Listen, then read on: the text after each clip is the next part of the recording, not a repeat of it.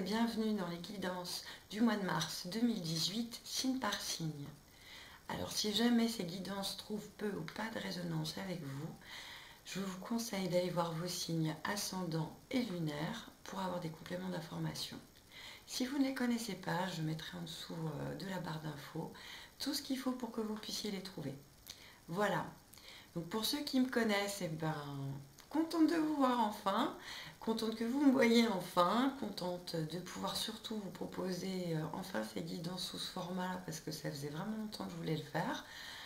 J'exagère un petit peu, ça faisait pas non plus euh, dix siècles, mais bon, voilà, il fallait le temps, ça y est, le moment est arrivé, je suis contente. C'est fait, c'est lancé, on y est. Défi relevé. Euh, voilà, et puis pour ceux qui ne me connaissent pas, ben, je m'appelle Aurélie, je suis chamane.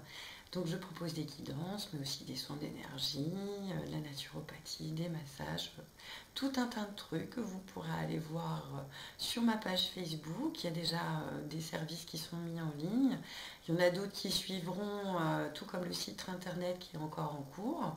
Et sinon, pour ceux qui ont envie d'avoir un peu plus d'informations sur le sujet et qui s'intéressent davantage, on va dire, de pousser, euh, vous pouvez nous rejoindre sur mon groupe euh, La Dame Ibérienne.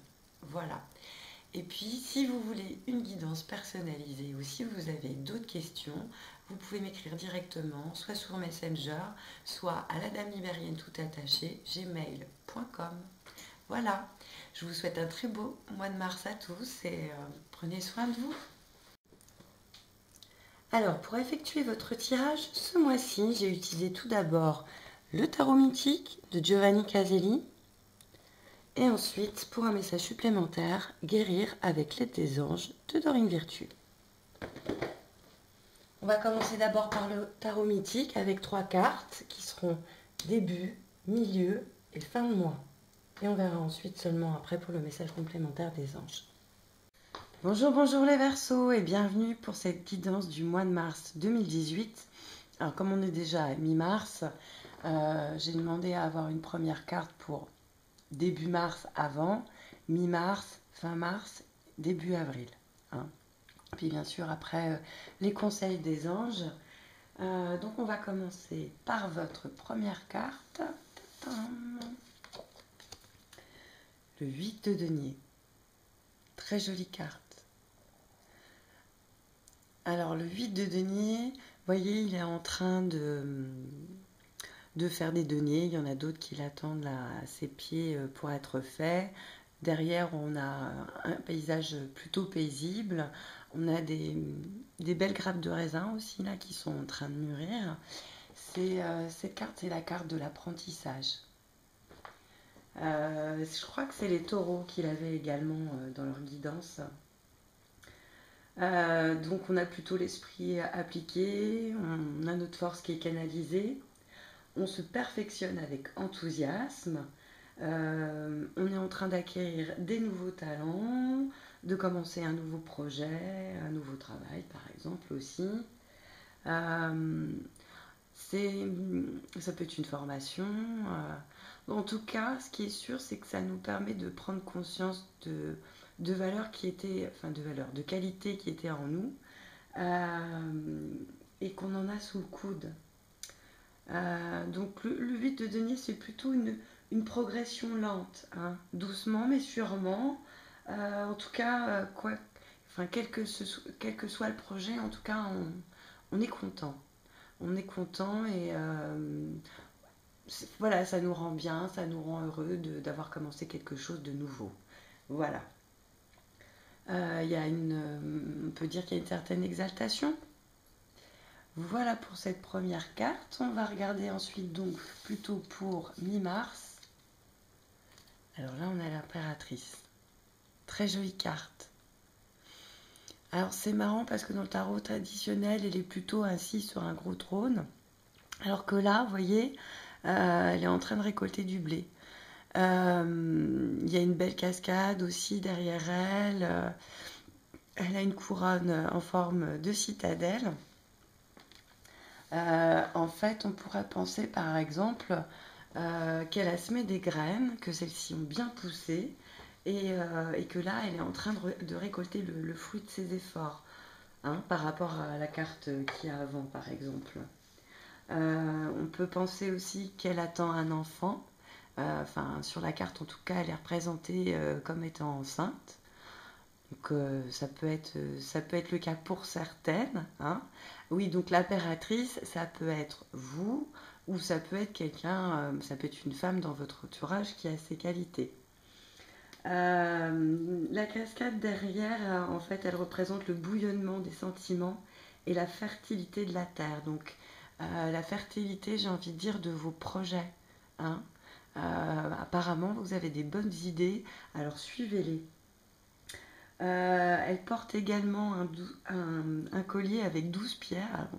même si je vous la mettais près, je ne pense pas que vous les verrez très bien.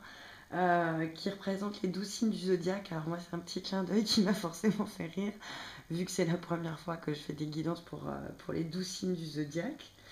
Et euh, concernant sa couronne en, forme de citadelle, c'est là pour indiquer qu'elle gouverne l'instinct qui pousse les êtres à bâtir des maisons protectrices. moi, c'est surtout bâtir. Alors, quand on dit bâtir des maisons protectrices, euh, c'est bâtir quelque chose de solide, hein, qu'on va pas pouvoir détruire en réalité comme ça euh, en, cinq minutes. Euh, et, c'est marrant parce que la protection, c'est ce qu'on avait. Pareil, je vous ai mis une carte en attendant sur Facebook qui est celle du, du millefeuille. On voit un, beau chevalier. Hein. alors, ça peut être un homme aussi hein, qui, qui, vous apportera son aide euh, mais lui, euh, c'est le bouclier protecteur. Euh, vraiment, vous êtes bien protégés, les versos. Là, on vous le redit encore avec l'impératrice. Ça se trouve, on vous le redira encore après. Mais voilà, vous avez vraiment. Enfin, voilà, vous n'êtes vous êtes pas seul.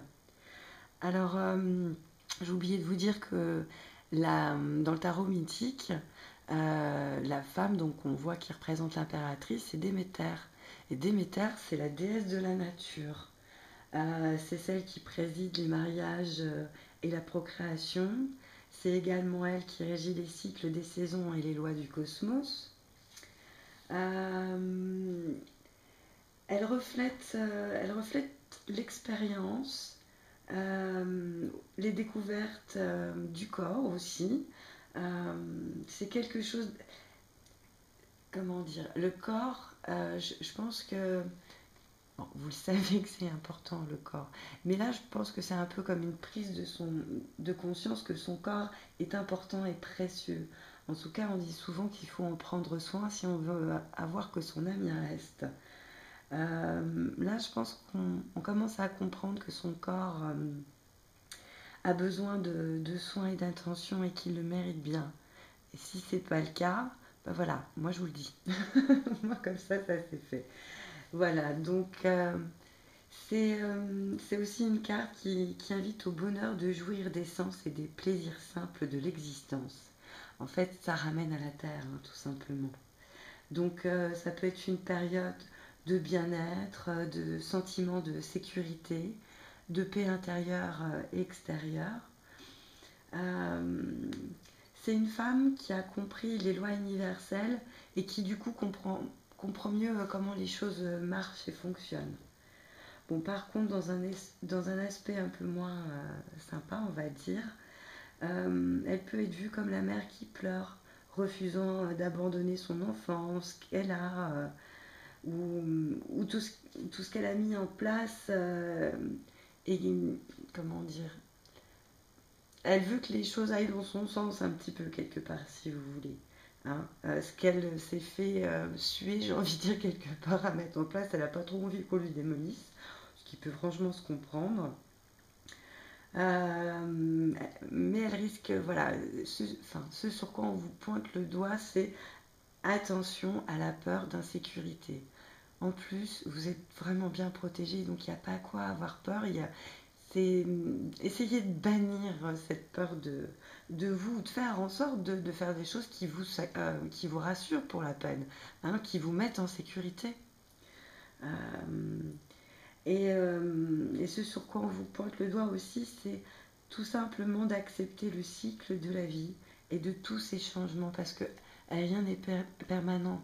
Les femmes, vous savez très bien que nous, déjà, on fonctionne par rapport au cycle lunaire. Hein, déjà, rien que ça. Donc, on n'est pas toujours dans le même état. par contre, si on observe nos cycles, on peut se rendre compte qu'à certains moments de notre cycle, on est dans le même état. Bon, bah voilà. jamais rien ne, dure. après, ça ne veut pas dire qu'on ne peut pas construire non plus sur du long terme. Ça, c'est possible. Mais tout est toujours en mouvement. Et puis le verso, franchement, euh, vous êtes bien loti, et euh, je, sais de quoi je parle parce que j'y suis. Euh, c'est bien le signe de l'adaptabilité. Donc, franchement, si,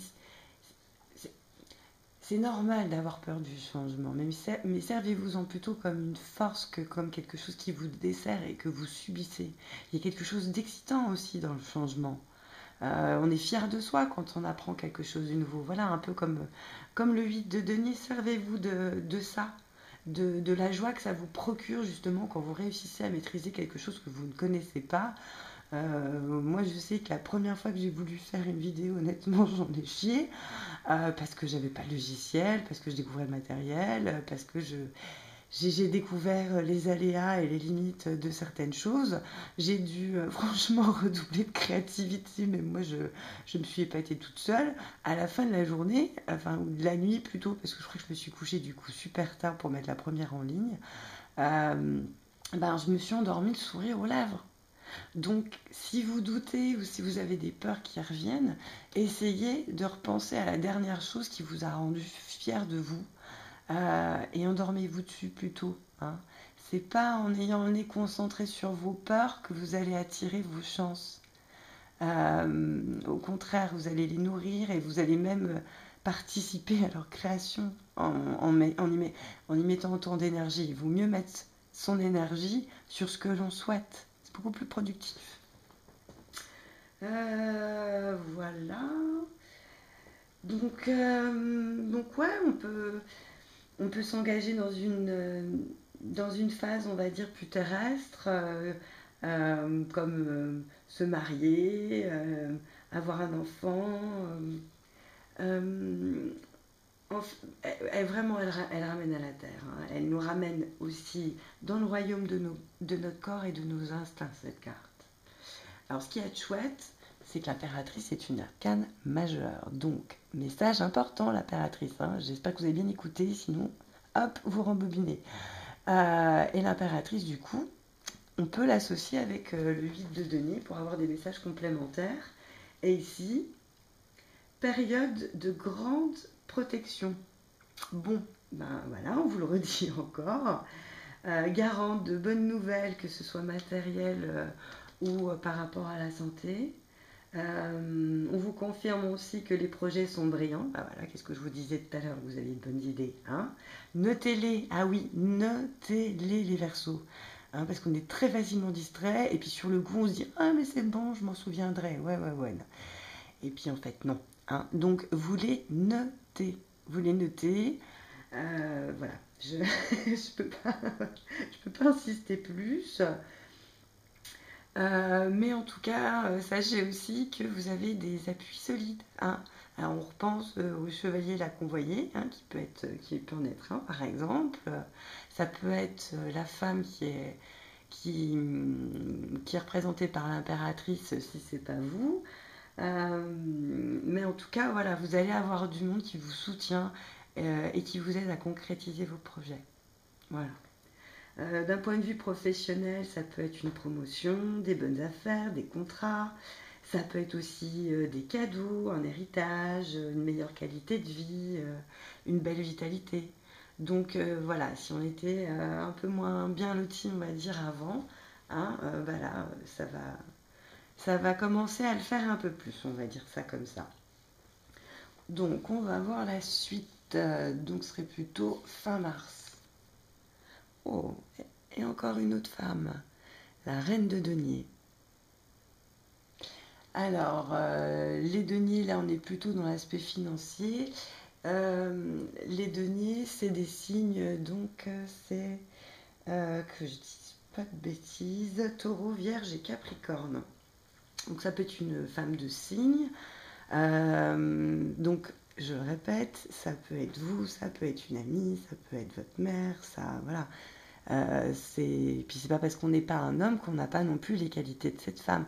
De toute façon, que ce soit vous, que ce soit quelqu'un d'autre, si c'est quelqu'un d'autre, c'est parce que vous avez ces qualités en vous et que vous rencontrez cette personne pour euh, prendre conscience que ça serait bien de les développer également chez vous.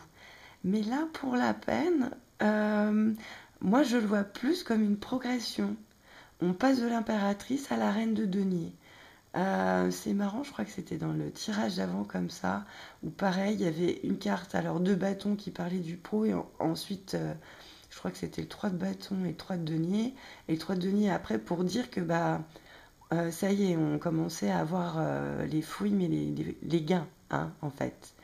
Donc là, sur cette carte, on voit que la couronne a changé, hein, la couronne royale. Euh, elle a euh, un, denier d'or euh, dans la main droite. elle a une, grappe assez généreuse de raisins bien mûrs dans l'autre. elle, elle est sur un, sur un trône, elle est bien stable. Hein. Donc, je pense que ça vous confirme que, que tous les efforts que vous avez faits, là, sont en train de vous amener vers une période où vous pourrez plus, pas vous asseoir, Hein, c'est pas de vous asseoir sur vos lauriers, c'est. Euh, euh, on n'est plus dans la mise en place, là, pour moi. Euh, là, ça y est, ça va pouvoir commencer à, être un peu plus rodé. Voilà, ça y est. Alors, c'est également une femme très sensuelle et réceptive. Alors, la sensualité sur cette carte, on insiste beaucoup. Euh, par exemple, dans le tarot mythique, la reine de, Denis, elle, est, euh, elle, est, appelée Omphale, qui veut dire nombril. Il faut savoir que les Grecs anciens, par exemple, pensaient que c'était le siège de la passion. Euh, donc, elle appelle à la satisfaction physique.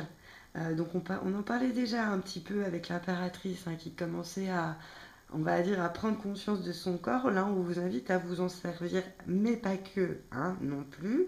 Euh, elle est là aussi pour vous, donner un élan euh, euh, primordial de votre force et de votre dignité.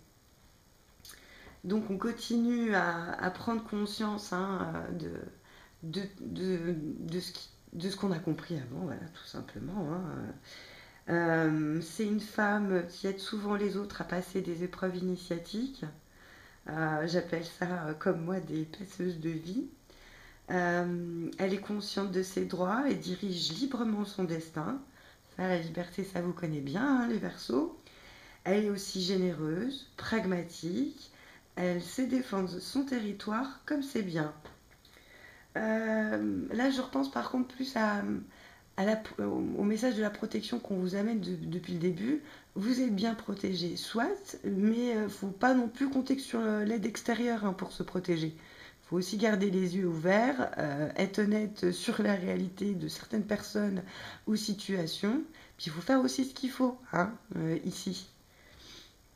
Euh, en tout cas, elle veut le meilleur.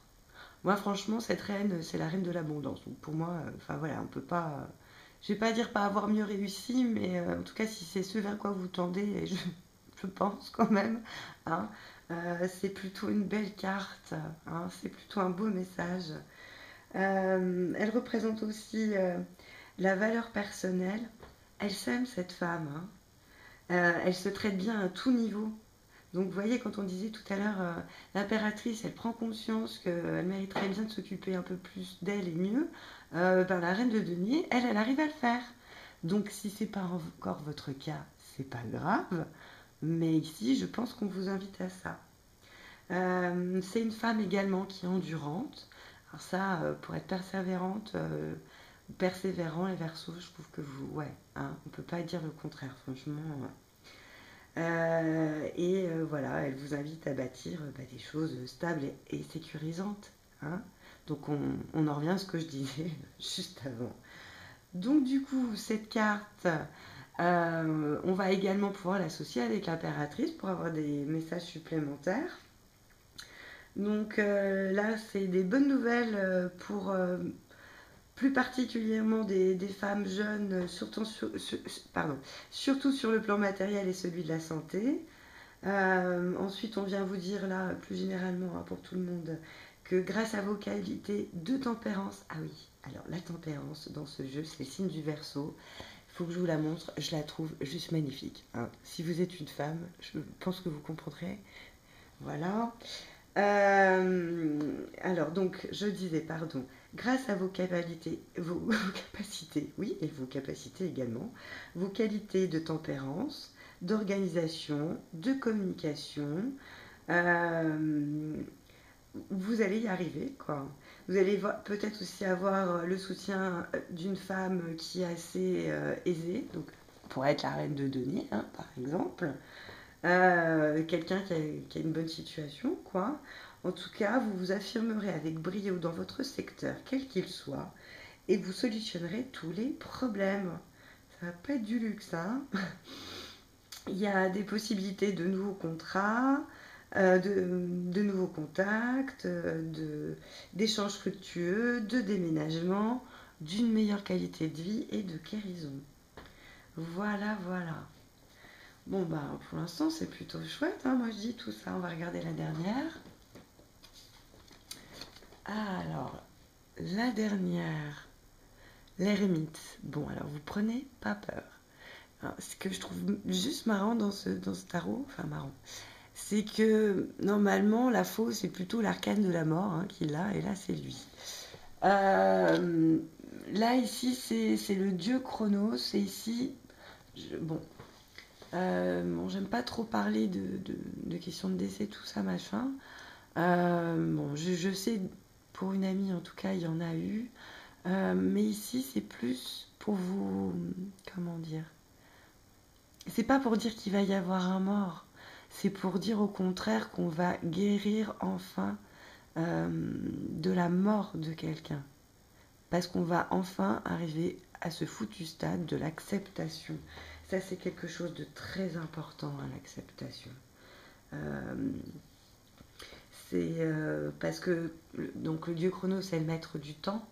Donc, il est là pour vous donner une leçon. Euh, l'ermite, donc ça peut être un homme, ça peut être un homme euh, du signe de la Vierge, euh, ça peut être un ami, ou ça peut juste être, enfin voilà, pour expliquer cette période-là. L'ermite, généralement, c'est la carte de l'introspection par excellence. Donc on peut avoir besoin de se recueillir, de s'isoler de méditer euh, pour euh, acquérir une certaine sagesse, euh, pour comprendre aussi certaines choses. revoir peut-être aussi, comment dire, faire un point pour voir si les bases qu'on a mis en place sont vraiment bien solides, s'il n'y a pas encore, on va dire, des petites retouches à faire. moi, pour ma part, ce serait plutôt pour se couper un peu du monde, parce que je pense qu'avec tout le boulot que vous avez fait hein, avant, euh, ça vous ferait pas de mal de vous retrouver un petit peu seul avec vous-même. Hein euh, oui, quand euh, je, disais tout à l'heure le comment dire que c'est Chronos, il est là en fait, cette carte elle est là pour nous donner une, leçon sur l'existence du temps et de nos limites, celles de la vie et des êtres. Hein Donc il faut arrêter de lutter et lâcher prise comprendre que c'est pas en voulant forcer, en étant impatiente, euh, que ça va faire avancer les choses. Au contraire, ça fait plutôt que de les, reculer. Et par rapport aux limites, euh, c'est pas que les limites de temps, hein. c'est les limites que vous, vous avez. Il faut pas, faut pas tirer sur la corde. Il hein. faut prendre conscience réellement de ses limites et pas aller au-delà.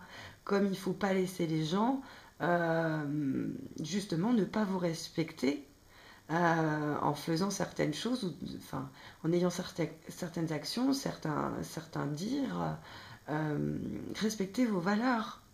Euh, et respecter ces valeurs, ça ne veut pas dire ne rien dire pour ne pas blesser l'autre, pour ne pas être désagréable. franchement, c'est c'est pas se respecter. Alors c'est bien, c'est gentil. On a, enfin moi j'avoue, euh, c'est un travail sur le que, j'ai commencé déjà depuis euh, depuis un moment parce que bah, comme tout le monde, hein, j'aime pas blesser les gens, j'aime pas être désagréable. Maintenant après, euh, c'est je pense pas que ce soit rendre service à tout le monde que de ne rien dire. Il suffit simplement de dire les choses. En plus, au niveau de la communication, les versos, vous en êtes capables. Euh, on peut dire les choses, il suffit de bien les dire. On est d'accord, il y a des moments pour ça. Maintenant, parfois, il faut prendre un peu aussi son courage à deux mains. Hein, parce que des fois, plus on se dit, ouais, non, peut-être un peu plus tard, puis peut-être un peu plus tard, et puis peut-être. Puis à la fin, c'est jamais. Hein. Plus on recule, généralement, moins on le fait. Euh, voilà, je crois que c'est tout ce que j'avais à vous dire pour cette carte. Ah, si, si. Euh, ah oui, bah, je vous le mettrai en lien en dessous de la vidéo. Euh, là, il a, une, il a un corbeau, hein, une corneille sur, euh, son épaule. Ça représente le grand esprit. Je pense que ça peut être un totem qui peut vous aider, par exemple, hein, les versos dans ce moment-là. parce que l'ermite, ici, je le vois plus en conseil que dans une personne en soi réellement. Euh, bon, bah, mais du coup, voilà. Ce qui aide bien, c'est que l'ermite étant également une arcane majeure, donc remessage important, euh, on peut également l'associer avec les lames mineures. Donc on va regarder en association avec le 8 de denier ce que ça nous donne. Alors, on revient ici hein, quand euh, je donne les indications, hein. pas là. donc là, quand on était là, c'était ça, renforce, on va dire, euh, les messages de cette période, euh, qui étaient plutôt euh, de grosses frustrations, par exemple. On peut dire que la qualité de vie était assez modeste, voire précaire, ou c'est peut-être l'impression en tout cas qu'on en a, hein, mais comme un sentiment de manque de rentabilité par rapport au travail fourni. Par contre, pour ceux qui ont commencé des formations, eux, c'est plutôt un bel aboutissement euh, par rapport aux métiers là qu'ils sont en train d'apprendre. Sentimentalement, c'est euh, une union heureuse et féconde. Euh, si on sait se contenter de la simplicité, hein, tranquillité et fidélité, là plutôt pour les couples. si jamais il y en avait qui avaient envie d'être volage, j'espère que vous ne l'avez pas fait parce qu'a priori, ça vous mettrait plutôt euh, en état de célibat prolongé. Hein. Un peu comme si vous étiez fait choper. Bon. Bon, voilà, ça c'est mis entre parenthèses. Maintenant, on va voir par rapport à la reine de denier ce qu'on voit. Euh, oui, alors attendez, avant de vous donner les messages, on peut imaginer que c'est un couple, hein, ici par exemple. Mais bon, c'est pas que. Euh, ah oui, si, si, si, ça peut être un couple, et je vais vous dire pourquoi. Bon, même si ici, ça peut être euh, plutôt des signes de terre, mais bon, par rapport à nous verso, euh, comme ici ça peut représenter le signe de la Vierge, j'ai vu un article passé aujourd'hui euh, qui disait que les, je crois qu'il y avait deux couples dont, qui, enfin, qui, dont les unions étaient les plus durables. je ne sais plus c'était quel le deuxième. Par contre, il y avait Verseau et Vierge. Voilà. Puis j'avoue, pour en connaître plusieurs des Vierges, franchement, euh, moi, c'est des gens que j'aime particulièrement. C'est des belles personnes, les vierges. J'ai mon frère et mon père déjà, et puis plein d'amis. Euh, ouais, c'est des hommes bien. Voilà. Donc ça peut peut-être être aussi un conseil pour changer de, type de personne aussi euh, par rapport à vos relations précédentes. Bon, là, je parle plus pour moi. Alors, on y va avec les messages de, de la reine de Denis associée à l'ermite. Alors, nécessité, surtout pour, pour les femmes, de compter avec le temps et sur elle-même. Euh, donc c'est bien la confirmation pour moi d'une progression. Euh, voilà, parce que là, ça, insiste sur la progression de vos projets et sur l'amélioration de votre santé. On vous invite à être plus sage, patiente, prudente, persévérante pour atteindre vos objectifs. Je pense que franchement, c'est des qualités que vous avez euh, si vous en doutez, on vous rappelle que vous les avez bien, alors servez-vous-en. On vous conseille aussi vivement d'aller vous euh, promener dans la nature, Et c'est pas pour rien, je pense que du coup, on a eu Déméter hein, avant, qui est euh, donc la déesse de la nature.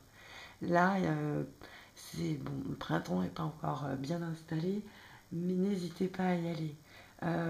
aller dans la nature, ça aide à s'ancrer. Ça aide aussi à se décharger, hein, parce qu'on a tendance à prendre un peu toute la misère du monde sur son dos, hein, les versos. Donc, sachez une chose, c'est que quand vous faites un câlin à un arbre, il apprend il apprend votre, votre tristesse, vos solitudes, vos ennuis, vos soucis, les énergies négatives. Euh, et vous inquiétez pas, vous lui faites pas de mal en faisant ça. Hein. Il, y a les anges aussi auxquels vous pouvez donner tout ça. Mais la nature, ça a une bonne, bonne reconnexion. Et c'est vrai que regardez, elles ont quand même. Là, on a plutôt du rouge, mais bon, elle est rousse. Là, on est plutôt dans l'orange. Donc, je dirais qu'on part du chakra racine au chakra sacré. Si on avait deux à travailler, par exemple, pour ce mois-ci. Euh, voilà, et puis euh, si vous inquiétez d'une femme d'un certain âge, c'est plutôt un signe, enfin un message de bonne santé la concernant. Voilà. Alors, comme euh, la carte de l'ermite avait l'air un peu plus sombre, j'ai quand même voulu regarder un petit peu derrière pour vous. Et derrière, nous avons Tintin, le monde. Alors, hein, voyez, tenez bon les versos, parce que le monde, c'est la carte de l'accomplissement, des honneurs et mérites, euh, euh, des voyages aussi, et puis pour moi de la fusion, là on voit que c'est un homme et une femme dans un même corps. Euh, voilà, un homme et une femme, vous voyez, on a l'empereur, la reine de bâton aussi qui suit. Donc, pour ceux qui sont en couple, on peut, je, vais vous expliquer après les cartes, mais on, voilà, on, peut y voir les deux personnes, l'homme et la femme. Hein. Si vous êtes une femme et que vous êtes seul, ça peut être un homme donc euh, qui va avoir les qualités de l'empereur. Si vous êtes un homme, ça sera plutôt euh, une reine de bâton. Alors je montre juste bien la reine de bâton, tu vois, Sandra avec la panthère, hein, les félins. Bon, là c'est un lion. Ah oui, donc la femme peut être du signe du lion hein, également. Euh, et l'empereur, il me semble que c'est le bélier. Alors le bélier, c'est marrant parce que si c'est bien le cas, euh, le, mari, en tout cas de la reine de Denise, enfin le roi de Denise, il représente aussi ce signe hein, du coup de terre. Euh, et l'empereur, eh ben oui, l'empereur, c'est le mari de l'impératrice. Tatsam Peut-être que vous allez avoir votre futur mari qui va arriver. Moi, j'avoue, j'aimerais bien. pour les célibataires. Euh, en tout cas, il y aura des occasions de rencontre hein, avec le monde allez dehors, sortez de chez vous si c'est pas déjà le cas. Ça peut vous aider un peu hein, pour la suite. Euh, et puis, euh, ouais, je vous le disais tout à l'heure, ne tirez pas sur la corde. Hein, parce que vous voyez, il y a la liste de bâtons qui traînent aussi derrière. Euh, Jason, il est revenu avec la toison d'or et il est super, enfin, il est super content. C'est vraiment ironique hein, quand je dis ça. il a affronté mille et une épreuves, mais il a beau avoir gagné, là, il est juste à bout. Hein. Il est à bout, donc mise en garde ici. Hein. Ça ne veut pas dire que ça, va vraiment arriver. Mais écoutez-vous, faites attention à vous, prenez soin de vous. L'impératrice et la reine de Denis sont là pour vous le dire. Euh, c'est pas pour rien. Euh, alors, je vais vous donner un peu plus de détails maintenant quand même sur, euh, sur l'empereur. Tintin, je vais vous le mettre là. Je vous le mets là, l'empereur. Tiens, comme ça, il sera juste en dessous de l'impératrice ça va bien. Euh, l'empereur, donc, bon, donc, mis à part le fait que c'est un bélier, que c'est le mari de l'impératrice, c'est plutôt quelqu'un qui a des qualités paternelles, qui incarne des idéaux spirituels, nos codes éthiques, une certaine autorité, de l'ambition qui mène à la réussite, de la discipline et de la sagesse qui sont nécessaires pour arriver à ses buts. Euh, il a l'esprit euh, et l'action qui dominent sur le corps et l'intuition. Lui, il est plutôt ancré. Hein. Euh, nous, les versos, généralement, on est plutôt percés, comme certains pourraient le dire, en tout cas plus, dans, plus cérébraux. lui, il a l'air plus ancré quand même. Hein. C'est quelqu'un de stable, voire de déjà matériellement bien installé. Voilà. Et alors, on va peut-être pousser ça, la fin. Voilà, maintenant, la belle reine de bâton.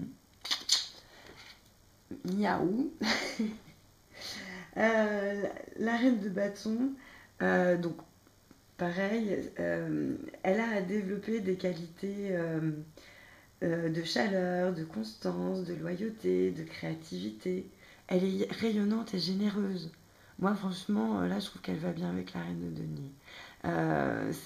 c'est encore une autre forme, parce qu'on ne peut pas tout travailler non plus en même temps. Enfin bon, c'est quand même une reine, quoi. Donc, voilà, je trouve que vous avez vraiment des, belles cartes.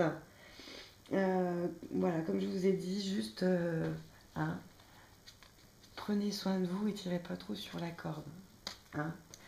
C'est mieux d'être là. Hein. Ça, ça arrive. Vous y avez le droit, vous travaillez assez fort pour depuis déjà un certain moment, donc euh, lâchez rien. je vais noter quand même, parce que maintenant regarder alors je vais juste les décaler là un petit peu le temps de regarder. Ah bah oui, parce que vous avez eu, vous avez eu deux cartes pour les anges. Alors on va commencer avec la première. L'intégrité. Accordez vos actions avec les valeurs et le savoir intime qui vous conviennent.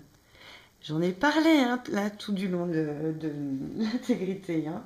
quand on dit respect de soi-même, etc. Alors attendez, je vais vous la reposer là, celle-là, paf, s'il te plaît. Voilà. Hein, euh, là, la, reine de Denis, elle vous en a, elle vous en a parlé, l'impératrice aussi. Hein. Euh, et puis en plus, ça me fait penser à, la carte de, l'authenticité qu'il y avait dans un des paquets pour le tirage de la semaine, si je ne m'abuse. Là, euh, cette carte de l'intégrité, alors c'est quoi? C'est des belles roses d'ailleurs hein, qu'on voit derrière. Euh, elle vient en réponse à vos questions et, aux demandes que vous avez pu faire à, l'univers pour accroître la joie et la confiance en vous. Ça ne m'étonne pas, ça. Donc, euh, ne faites que ce qui est juste pour vous. Hein. Faire l'inverse, euh, comme accepter des situations qui vont à, l'encontre, ça érode l'estime de soi. Alors, quand on veut gagner en estime de soi, il faut arrêter de faire des choses qui ne sont pas en accord avec nous. Euh, on ne dit oui que si on en a vraiment envie, pas pour faire plaisir aux autres. Euh, euh, ça s'appelle le respect de soi, hein, ça, hein, tout simplement, hein, comme je le disais déjà tout à l'heure. Et on apprend à dire non. Même si c'est pas facile, même si c'est pas agréable, c'est pas une raison. D'accord? Vous êtes des reines, mesdames, ne vous laissez pas marcher dessus. donc je vais vous lire déjà la première marche à suivre. Alors, on y va. Allongez-vous et méditez sous forme de rêve éveillé en laissant vagabonder votre imagination. Programmez votre esprit, votre cœur et votre âme pour qu'ils vous projettent un film mental dans lequel vous avez une vie des plus saines et spirituelle. Regardez ce film en notant vos impressions, puis priez. Archange Michael, je vous demande d'organiser ma vie et mes activités quotidiennes afin que je m'engage et m'immerge dans des activités reflétant ma conscience supérieure. Aidez-moi, je vous en prie, à me débarrasser des habitudes, conduites et actions qui ont engendré honte et culpabilité par le passé et à les remplacer par celles qui me rendent heureux. Voilà pour la première carte. Maintenant, on va regarder la deuxième. Ah, ouais, dans ce sens-là, ça sera plus simple. Voilà. Végétarien, végétalien. Alors, les fruits et les légumes frais biologiques vous donnent un regain d'énergie vitale qui élève vos fréquences spirituelles.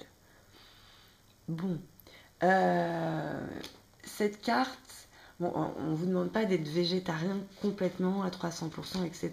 Maintenant, on vous invite peut-être à manger un peu moins de viande. Ce qui est sûr, c'est qu'on vous invite à manger beaucoup moins de produits industrialisés où il y a des additifs, des colorants, des conservateurs qui n'ont strictement rien à faire là et, plein d'autres choses qui ne sont pas forcément bonnes pour vous. On vous demande ici avec cette carte de respecter votre organisme, hein, tout simplement. Euh, pareil, il euh, faut savoir que les aliments au-dessus de 45 degrés, ils perdent leurs minéraux. Donc tout ce qui est en boîte de conserve, qui est cuit au-dessus de ça, euh, ben, vous avez beau manger des légumes, euh, il y a zéro minéraux dedans. Et minéraux, c'est grâce à ça que, votre corps euh, il peut, euh, il peut mieux fonctionner. Hein. des, aliments morts s'en fout un petit peu, hein, votre corps. Au contraire, ça lui fait des déchets à traiter. donc il y a peut-être une alimentation à revoir là. Hein. vous pouvez prendre conseil auprès d'un naturopathe ou alors d'un ah, diététicien, mais qui n'est pas vieille école. Parce que, personnellement, pour donner des conseils en naturopathie, même moi, quand je, me suis formée, qui pensait déjà avoir pas mal travaillé mon, alimentation, euh, je suis un peu tombée des nues euh, en apprenant certaines choses. Donc euh, voilà, renseignez-vous correctement, faites pas n'importe quoi non plus. Hein, c'est pareil, si vous faites une détox, c'est pas toute l'année la détox. Hein. Il y a des choses qui se font seulement pendant 21 jours, pas plus. Euh, et puis, enfin, je, voilà, je suis pas contre le végétarisme. Hein, euh, euh, effectivement, on peut remplacer certaines choses comme les protéines, etc. Mais faut pas tomber non plus dans un autre excès. J'ai envie de dire, parce qu'il y a des gens malheureusement comme ça qui sont des carences et ça peut être très dangereux. Hein. Voilà, donc maintenant je vais vous lire la marche à suivre. Ah oui, euh, ouais, je vais vous lire la marche à suivre, puis après je vous dire un autre truc. Donc, assis ou allongé dans un endroit calme où vous ne serez pas dérangé, dites Archange Raphaël, je vous appelle en cet instant et vous demande de réguler mon appétit et mes besoins afin qu'ils s'ajustent aux aliments et boissons biologiques et sains. Je veux dès maintenant abandonner mon attachement substance nocive et ouvrir les bras pour accueillir le respect de mon corps. Guidez-moi, je vous en prie, dans le choix de produits sains, aux vibrations élevées et remplies d'une divine énergie vitale. Oui, donc pour ceux qui, euh, qui ont un chemin plutôt spirituel, mieux vous traiterez votre corps, plus vous montrez en vibration. Hein. ça va de. Donc si vous voulez, euh, on va dire, passer certaines portes et, vous élever, ça peut y participer. Hein. Puis accessoirement, ça peut, comme je le disais, je crois, je, enfin un moment, il euh, faut donner à votre âme l'envie de rester dans le corps. Hein. Vous êtes là pour l'habiter, votre corps. Vous êtes là pour euh, profiter euh, des plaisirs de, cette incarnation sur Terre. Donc il faut vivre. Hein. Donc ce que je voulais vous dire, c'est que j'avais besoin d'un petit marque-page pour, euh, pour, euh, pour, pouvoir trouver plus facilement et surtout rapidement euh, la marche à suivre pour, pour cette guidance-là. Et du coup, ben, la première, j'avais utilisé le millefeuille et là, j'ai utilisé, c'est la rose qui est venue. Donc la rose, c'est bah, la carte de l'amour pur. Hein. Il y a, a l'air d'avoir quelque chose en route hein, quand même hein, dans ce domaine-là, moi je trouve. Mais c'est aussi l'amour de soi. Hein L'amour inconditionnel, c'est l'abondance, la protection, une fois de plus, je vous le dis, euh, la guérison émotionnelle, l'amitié, la spiritualité. C'est une magnifique carte. Voilà pour conclure votre tirage les versos. Euh, j'espère que cette guidance vous aura parlé. Euh, prenez bien soin de vous. franchement, vous tenez le bon bout. Vous tenez le bon bout. je vous embrasse fort. Oui, alors désolé, on a été coupé. Donc j'étais en train de vous dire, euh, n'hésitez pas à me faire des retours euh, en me laissant des commentaires par exemple. Euh, n'hésitez pas à liker, à partager. Vous pouvez me soutenir aussi, j'ai mis une petite cagnotte en place. voilà. Donc prenez bien soin de vous, vraiment pour... je vous souhaite un très joli mois de mars, un bon début avril. et voilà. Au mois prochain les Verseaux. Bisous